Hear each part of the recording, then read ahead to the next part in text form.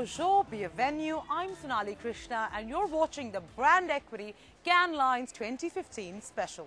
It's been a super hectic week. The sun, the sand, the technology, all the data talk, and of course, the global outburst of creativity right here at Cannes just never took a break. But don't take my word for it, take a look for yourself.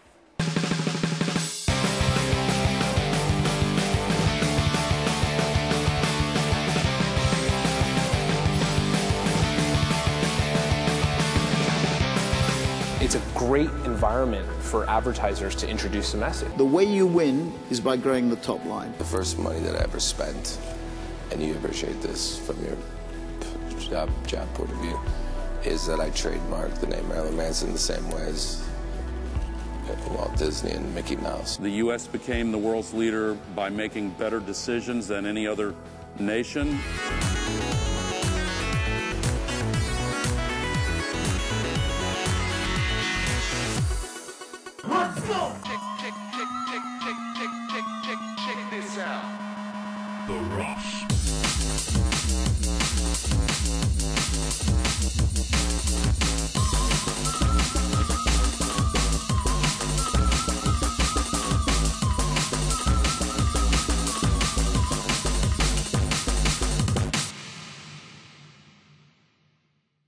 Ruskin once said, quality is never an accident. It is always the result of intelligent effort.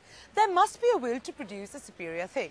And this very powerful statement holds true for the Dutch brewer Heineken. Heineken was named the Creative Marketer of the Year at Cannes for the second time, and this is no mean feat. In the words of the brewer's Executive Director Global Marketing, Soren Hagh, great creativity starts with a decision.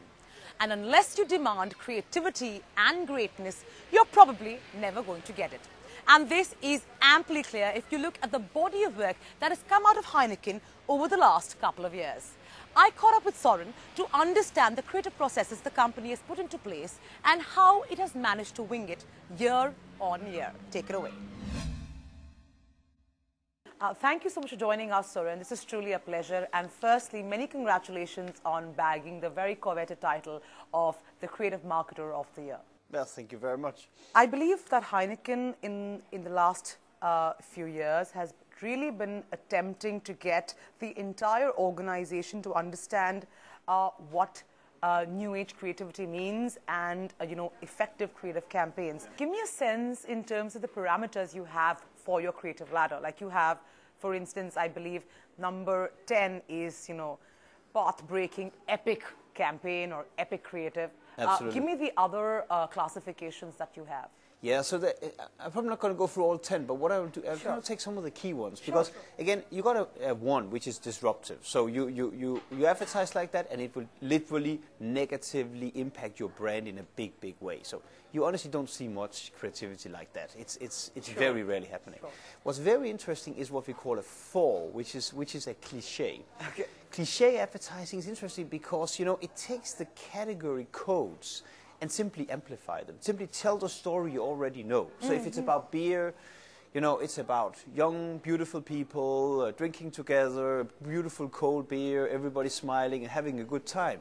There's nothing wrong with that as such, you could say, because that's exactly what beer is about. But actually, the truth is, everything is wrong with that. Because all you're telling the consumer is, this is a beer. But they know it's a beer. Sure. So therefore, you're simply just reconfirming codes that already exist. And that's why we think four is the most dangerous place to be, because actually, it's an okay ad, but it's doing nothing for your brand. Sure. The, the lowest we accept as an acceptable standard at Heineken is a five. That's what we call ownable. Ownable ads are basically ads that are unique to your brand. So only I can tell this story. That's often good enough, actually. A lot of messages can be delivered in that way in a completely sustainable, long term way, and we are often happy with that, actually, for many of our brands. Right, okay. However, what we also believe is that the future of advertising, the future creative, belongs to what we call seven plus creativity. Because once you get to at least seven, you build talkability into your creative. And talkability really means you want to share it with your friends. It's advertising and it's uh, communication that is so good that it makes people want to talk about it. So, Soren, tell me, when did the need arise for you know a system like this? How long ago, and where did that that need stem from? Well, it came from, you know, it, it came from, it's, it's, not, it's not that old, it's only a couple of years ago where we started actually looking at, you know, the fact that we did quite a lot of, of, of communication at Heineken that just didn't work. That was just terrible.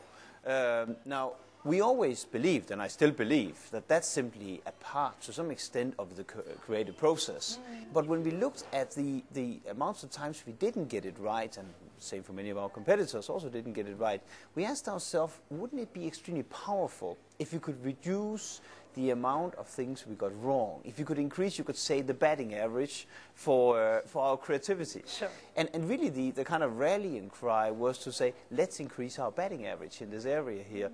And again, that's recognizing we're still going to get some of it wrong. But I think what we are on the journey to do is to reduce the amount of things that we get wrong and increase the stuff that actually is truly great. You know, I really want to talk about your creative council that you've instituted, where I believe you have uh, a mix of your internal marketers and yeah. agency partners. Um, I a want to know how this works, yeah. uh, and uh, b what has been uh, the output that you've seen because of this council that's that's been put together. One thing that, that keeps me awake at night is the the, oh, the ever-present risk of arrogance when you're doing well, you know, or, or, kind of complacency. You, you lean back and you're kind of, you know, everybody tells you how good you are, and therefore you start believing it. That's dangerous because we live in a world where brilliance comes from everywhere. You know, small startups, big companies, anyone. If we start not being on our toes all the time, we are going to be overtaken faster than anyone can ever imagine. And that's why we said we need a way to keep us sharp. We need people that actually keep us to the very highest standards. And that's where these creative councils came from. And really, it's, it's a group of people that are our very best internal, you can say, creative talents. Uh, our best, very best partners from outside, the best creative directors we have, the best kind of uh, partners we have in consultants, kind of marketing consultant uh, uh companies. And it's a brilliant debate. And actually, out of those conversations, people get a much firmer understanding of what is greatness, what does it take to deliver greatness. Soren, you talked about agency partners. Now, you know, more and more you're just dealing with more and more partners as, you know, we we have more and more platforms and yeah. you know technology, etc.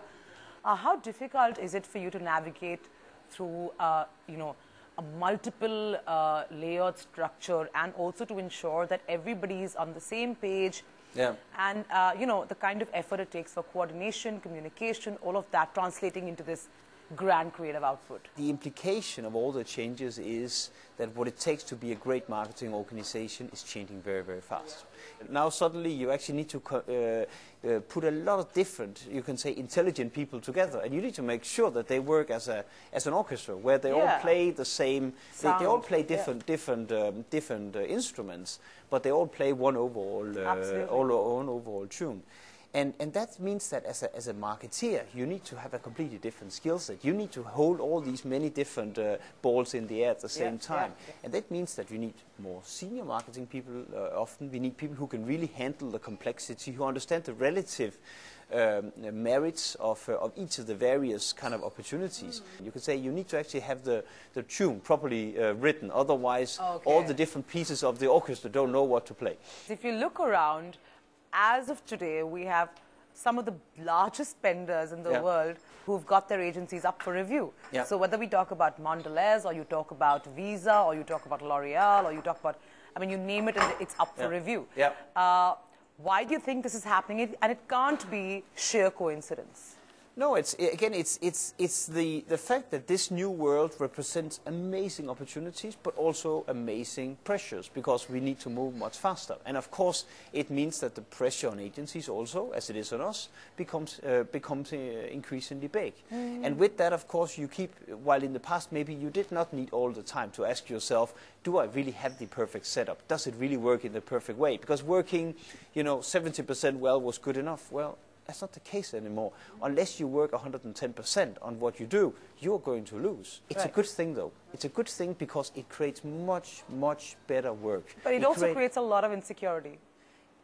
It, it creates more change. That's, uh, that's, that's for sure. And, and, and again, if you're not comfortable with change, then, then the world of marketing is a difficult place to be in because sure. it is changing very that fast. Uh, if you can tell me in terms of your business vision, Where is it that you'd like Heineken to be, let's say, five years from now? Well, business vision in terms of, uh, of where, we see, um, where we see our business going, what we see one is a, a, a kind of geographical footprint Yeah. that is going to continue expanding and going to continue to be very balanced because that is for us very, very important. At the same time, I think what we're also going to see is that the whole definition of our category is going to broaden. Consumers are more and more recognizing that actually there are much more opportunities, both within the world of beer, but also in things like cider, in non-alcoholic drinks and so on that are based on some of the brewing techniques we know from beer. So we see a world where the, the whole definition of the category we're in is going to change. On that note, thank you so much, sir. And this has been truly insightful. And uh, many, many congratulations once again on bagging the Creative Marketer of the Year award at the Cannes Lions 2015. Thank you very much. It's been a pleasure.